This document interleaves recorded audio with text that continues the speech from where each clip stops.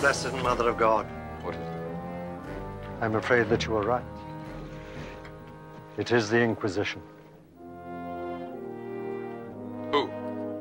Captain Ferreira and his men. There is the stake for burning, and his men are all armed. Brother Michael, are you here? Yes, Anjin-san. I am here. Listen, brother. Before, you said I was a worthy samurai. Did you mean it?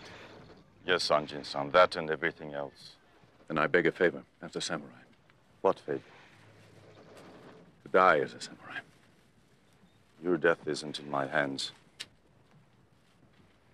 It is in the hand of God, Anjin-san.